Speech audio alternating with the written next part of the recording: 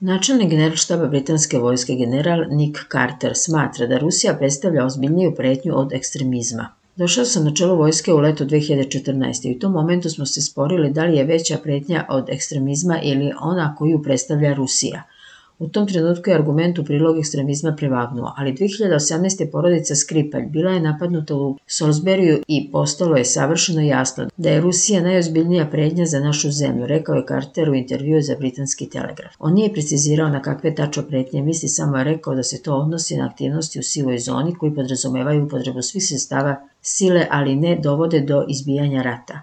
Prema Carterovim rečima, problem Rusije je prioritet za savjetnike za nacionalnu bezbednost Stevena Lavgrova. Načelnik generalštaba navodi da Rusija ne treba da misli da je Zapad posle povlačenja NATO iz Afganistana mrtav. Mi imamo saveznike, a Rusija klijente, rekao je on komentarišući prednosti alijanse.